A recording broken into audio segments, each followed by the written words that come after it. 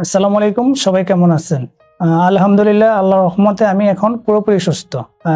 আমি গত দশ দিন আগে ডিপিআরসি হসপিটালে আসছিলাম। আমার যে অনেকগুলো সমস্যা ছিল। যেমন যে পিছনে হঠাৎ করে দাঁড়ালে কামড় দিয়ে ধরতো, তারপর একটু ব্যথা ছিল প্রচুর।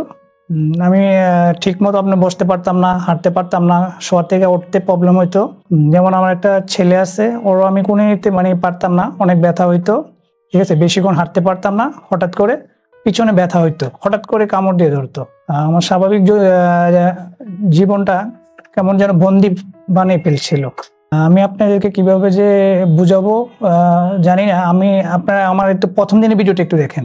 আসসালামু আলাইকুম। আমার নাম মোহাম্মদ আজিম। আমি যে কুমিল্লা উৎসব থেকে আসছি বয়স হলো আমার পঁয়ত্রিশ। এমনি আমি প্রবাসে আছি। একটা সময় আমি অনেক সুস্থ ছিলাম। সবকিছু করতে পারতাম।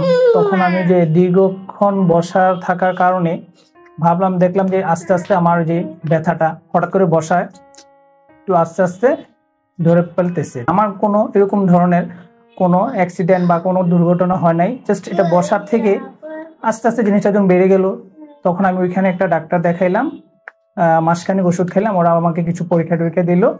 তখনও কোনো দেখলাম যে কোনো আপডেট নাই। তারপর কি করলাম, আমি দেশে চলে আসলাম।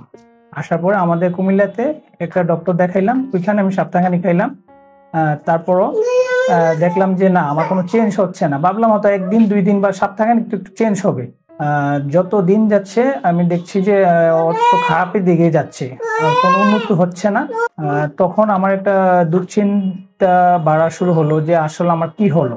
হ্যাঁ যেমন আমার ফ্যামিলির উপার্জনটা তো আমার উপরে, তাই না? তারপর আমি অনেক টাকা খরচ করে বাইরে গেলাম, তখন এই ধরনের দুশ্চিন্তাগুলো আমার ভিতরে কাজ করতে থাকে। তখন আমি কি করলাম, একটা ডিসিশন নিলাম যে আমি দেশে যেয়ে ভালো একটা ডক্টরের চিকিৎসা নেব। তখন আমার যেমন আত্মীয় স্বজন সবাই দেশে আছে, তখন আমি দ্রুত চলে আসলাম। পরে দেশে আসার পরে ভাবলাম, অনেকে বললাম যে আমাদের এলাকাজন কুমিল্লাতে একটা ডক্টর দেখাই তখন কি করলাম আমাদের কুমিল্লাতে একটা ডক্টর দেখাইলাম।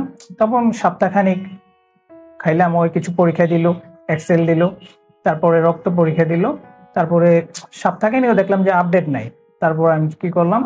ঢাকাতে চলে আসলাম। তখন আমি খোঁজা শুরু করলাম যে কি চিকিৎসা আছে।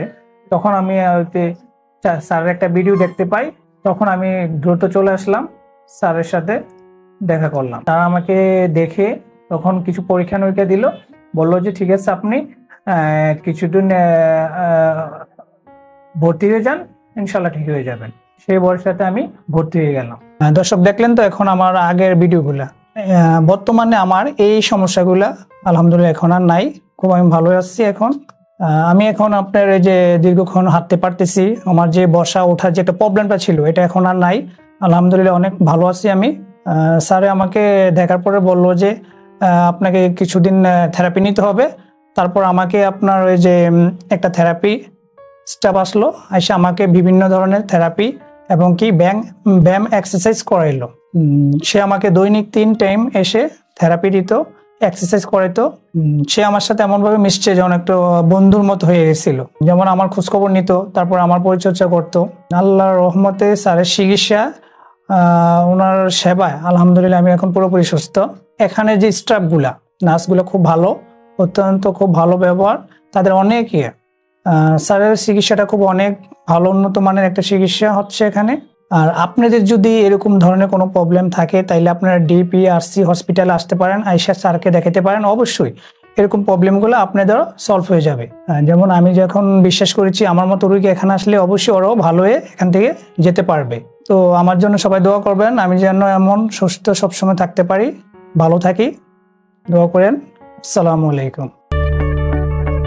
আমরা জানি আপনার প্রিয়জন আপনার জন্য কতটা গুরুত্ব বহন করে। প্রপার ডায়াগনোসিস কনসালটেশন পেইন ও প্যারালাইসিস চিকিৎসা পুনর্বাসন আমাদের সব আয়োজনই সব সময় আপনাদের জন্য চব্বিশ ঘণ্টা খোলা। আমরা চাই না আপনারা বারবার আমাদের কাছে ফিরে আসুন তবুও আমরা আছি সব সময় সর্বদা আপনাদের পাশেই।